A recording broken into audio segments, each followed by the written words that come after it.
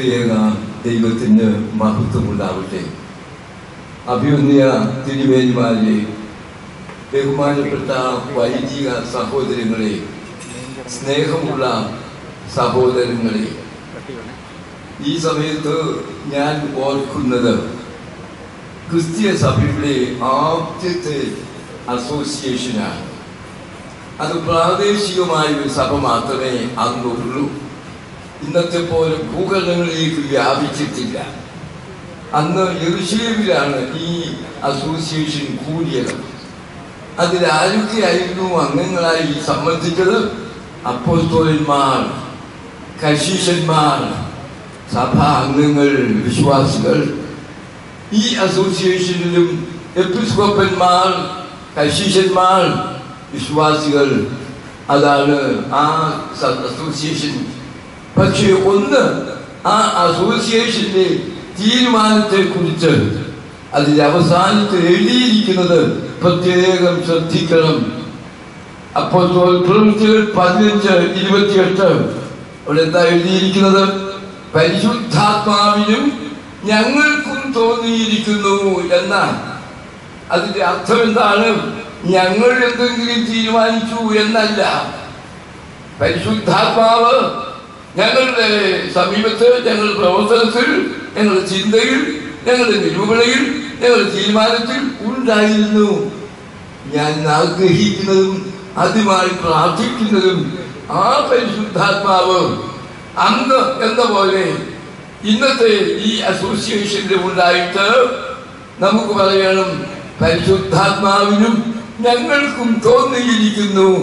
ഇന്നാൽ ഈ സഭയുടെ കഥോലിക്ക ആയി വരുവാൻ തക്കവണ്ണം ഞങ്ങൾ തീരുമാനിച്ചിരിക്കുന്നു എന്ന് പറയുവാൻ തക്കവണ്ണം ആത്മ നടത്തിപ്പ് ഇതിലുണ്ടാകട്ടെ എന്ന് ഞാൻ ആദ്യമായി പ്രാർത്ഥിക്കുന്നു.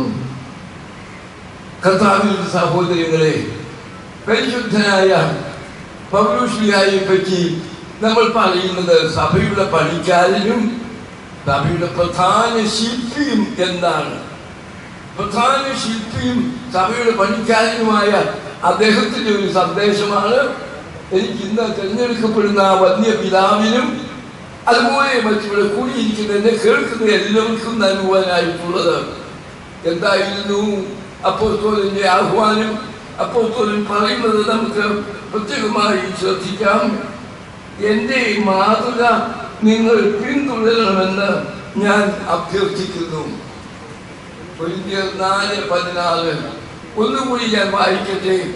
എന്റെ മാതൃക നിങ്ങൾ പിന്തുടരണമെന്ന് ഞാൻ അഭ്യർത്ഥിക്കുന്നു. ഇത് കാതോലിക്കാർക്ക് പ്രസക്തമാണ്. എപ്പിസ്കോപ്പന്മാർക്ക് പ്രസക്തമാണ്.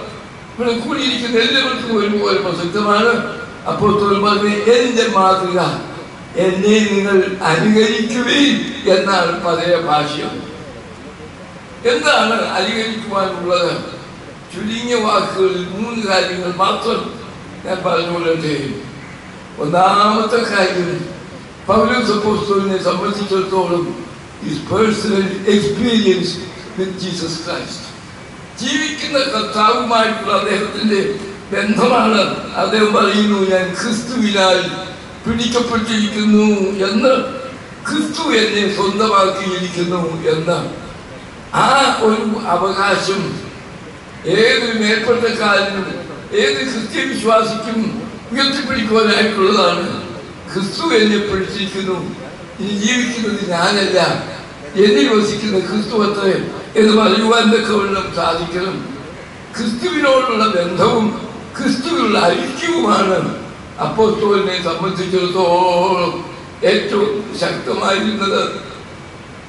കൂടാശയെ പറ്റി അദ്ദേഹം പറയുന്നു മാമോദീസായെ പറ്റി പറയുമ്പോൾ നമ്മൾ പറയും സഭയുടെ അംഗമായി തീരുന്നു എന്ന് പുതു സൃഷ്ടിയായി തീരുന്നു എന്ന് എന്നാൽ പൗലോസ് എന്താ പറയുന്നത്? ക്രിസ്തുവിനോട് ചേരുവാൻ സ്നാനമേറ്റിരിക്കുന്നു അവിടെ emphasis on Christ union with ക്രിസ്തുവുമായിട്ടുള്ള ബന്ധം അതാണ് സർവപ്രധാനം.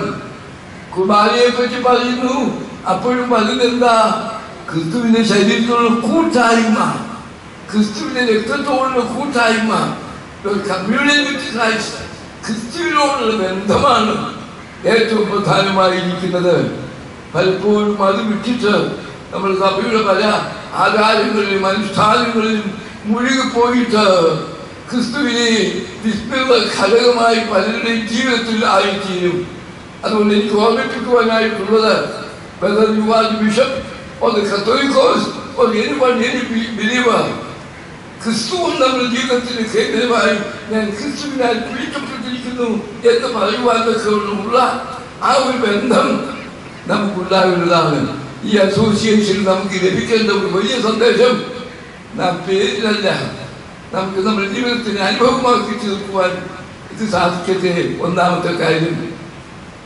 ഇതെങ്ങനെ ക്രിസ്തുവിൽ കേന്ദ്രീകൃതമായി കഴിഞ്ഞു ഹിസ് ലൈഫ് പൗലോസിന്റെ പ്രാർത്ഥനാ ജീവിതമാണ്. അദ്ദേഹം ഫിലിപ്പിൽ വെച്ച അടി കൊണ്ട് അടി പുറം മുഴുവൻ പൊളിഞ്ഞിരിക്കുകയാണ്. കാലിൽ ചങ്ങലയുണ്ട് കയ്യിൽ ചങ്ങലയുണ്ട്. അങ്ങേ അകത്തെ അകത്തെ തള്ളവർക്ക് തിരിച്ചിരിക്കുകയാണ്.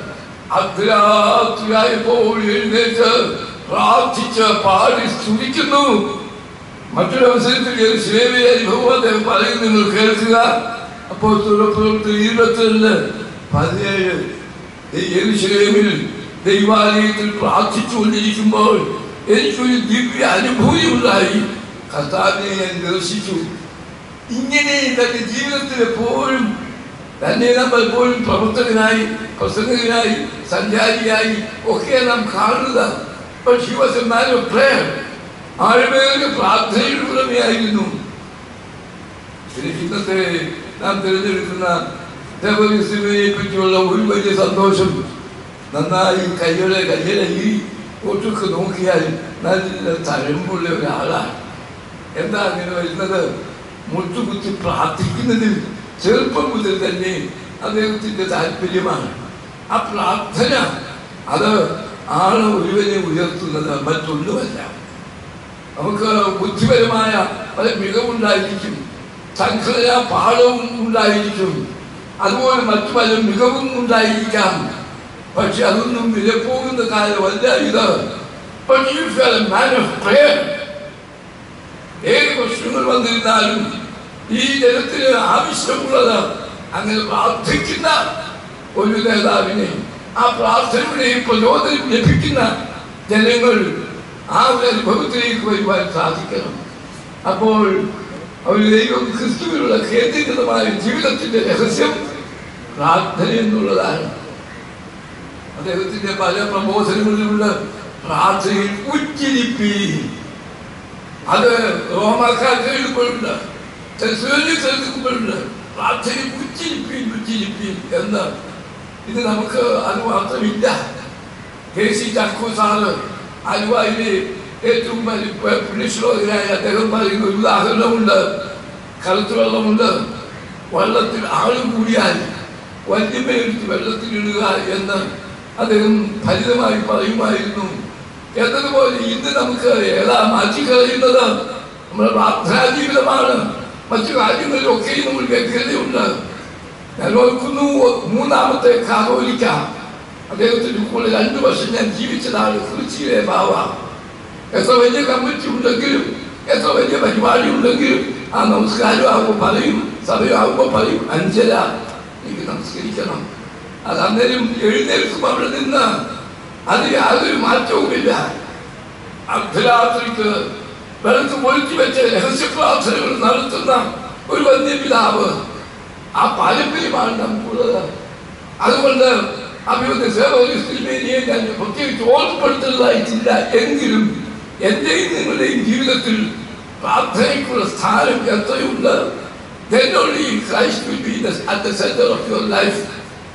മൂന്നാമതൊന്നും കൂടി ചുരുക്കമായി ഞാൻ പറഞ്ഞുകൊണ്ട് നിർത്താം പൗരസപ്പോസ്തോലിന്റെ വലിയ കോൺട്രിബ്യൂഷൻ എന്ന് പറയുന്നത് മറ്റുള്ളവരുമായി സഹകരിച്ച് പ്രവർത്തിക്കുന്നതിലുള്ള അദ്ദേഹത്തിന്റെ കഴിവാണ്. എപ്പോൾ യാത്ര ചെയ്താലും ഒറ്റയ്ക്കല്ല. പൗരോ ഭഗവാസിനോട് കൂടെ ശ്രീരാസിനോട് കൂടെ. അതിലൊക്കെ വിചിത്രമായി നിങ്ങൾക്ക് തോന്നിയിട്ടില്ല എനിക്ക് തോന്നിയിട്ടുണ്ട്. അദ്ദേഹം എഴുത്തെഴുതുക കൊരിന്തിലെ സഭയ്ക്ക് തെസലോനിക്കയിലെ സഭയ്ക്ക് എങ്ങനെയാണ് എഴുതുന്നത്? അപ്പോൾ ക്രിസ്തുവിന്റെ അപ്പോസ്തോലായി പൗലോസ് എഴുതുന്നല്ല നിങ്ങൾ ശ്രദ്ധിച്ചിട്ടുണ്ടോ? എന്താണ് എഴുതുന്നത്? പൗലോസും സിൽവാനോസും കൂടി എഴുതുന്നത്. പൗലോസും തീമോത്തിയോസും കൂടി എഴുതുന്നത് ബാബായും ബാബായുടെ സെക്രട്ടറി ഉപദേശിക്കുന്ന അച്ഛനും കൂടി എഴുതുന്നത് എഴുതാൻ പറയാൻ നോക്കുമോ ചിന്തിക്കാൻ പോലും മേല പക്ഷേ പൗലോസ് അപ്പോസ്തലന്റെ യുണീക്നെസ് എന്ന് പറയുന്നത് മറ്റുള്ളവരെ ഉയർത്തിക്കൊണ്ടുവരുവാൻ അവരുമായി സഹകരിക്കുവാൻ ചേർന്ന് പ്രവർത്തിക്കുവാനുള്ള കഴിവ് അത് അസാധാരണമായിരുന്നു അത് സാധിക്കുന്നത് എങ്ങനെയാ തന്നെക്കാൾ ശ്രേഷ്ഠരെന്ന് മറ്റുള്ളവരെ എണ്ണുവാൻ കഴിയണം. പൗരത്തിന്റെ വാക്കുകളാണ് തന്നെക്കാൾ ശ്രേഷ്ഠനെന്ന് മറ്റുള്ളവരെ എണ്ണുവാൻ കഴിയുമ്പോൾ മാത്രമേ സഹകരിച്ചു പോകുവാൻ സാധിക്കുകയുള്ളൂ.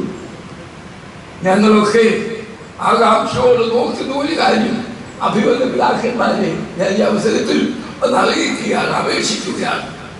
ഒരുമിച്ച് സഹകരിച്ച് ഒറ്റക്കെട്ടായി നിന്ന് പ്രവർത്തിക്കുന്ന ആ ഒരു കാഴ്ചപ്പാട് ഞങ്ങൾക്കൊന്ന് കാണുവാൻ അനുഭവിക്കുവാനും സാധിക്കണം.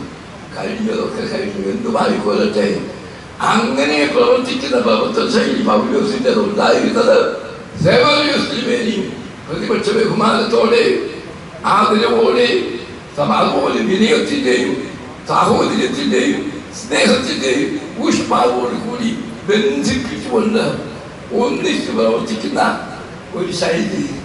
അത് സഭയിൽ വേണ്ട ക്രിസ്ത്യാനിയായി പ്രവർത്തിക്കുന്നതല്ല. സഭ ആവശ്യപ്പെടുന്നത്. നമ്മുടെ സഭയുടെ ആ ഒരു പാരമ്പര്യം സിനോഡിക്കലാണ്.